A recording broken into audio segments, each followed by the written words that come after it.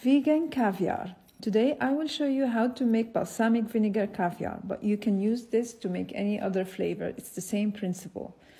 We pour in balsamic vinegar, agar agar, and heat, then allow to cool.